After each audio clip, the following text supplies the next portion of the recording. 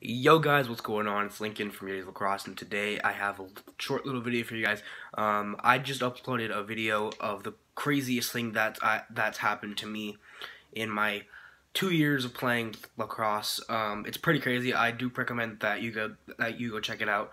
But um, today I'm just gonna talk briefly about um, my new D-pole idea. So as you know, maybe uh, depends on how new or old you are uh, to my channel. I have a Nike Vandal defensive shaft and a Nike Lakota U head on there, um, which was good the first, say, about a week, two weeks.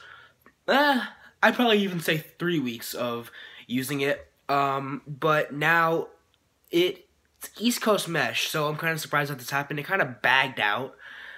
I don't know if bagged out's the right saying for it, but it just kind of sits super low now, and the only way I can do it um, or fix it is to restring it um, or just put a different head on there, which I'm gonna try and do. Um, I have an idea. Um, so the problem I have now is the whip on the new stick. I did not string it myself.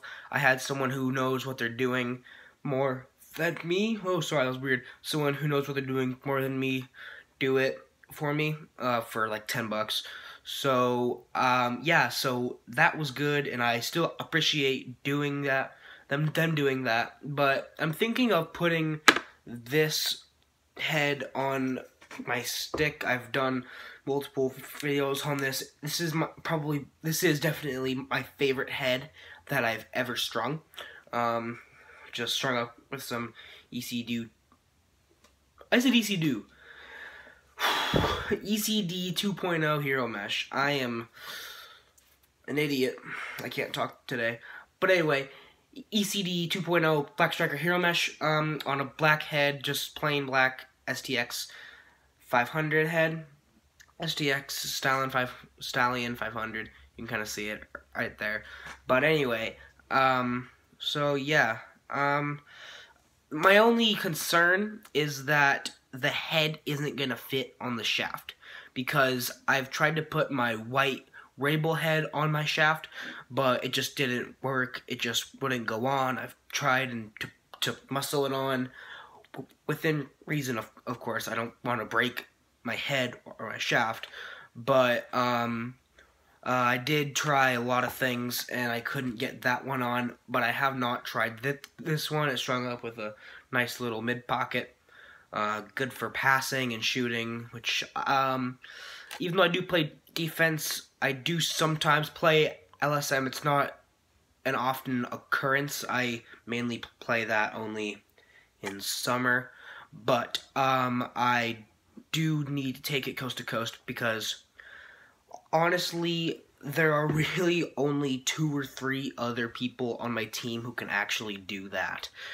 Um, and uh, that's not very much of a good thing at all. But um, I'm a defender, and I'm actually pretty shifty with a D-pole. Like, I can avoid def uh, defenders pretty easily with a D-pole. And then I can shoot kind of accurate, too, which sucks because, well, it doesn't suck, but it's gonna kind of suck because I might take off that head and put this one on it. Which don't don't get me wrong, this one's also good for shooting, but I just like how the other one shoots a lot as well. So I'm kind of torn on like, do I want to take it off and put this one on, or do I want to keep that one on? So I just don't know what to do.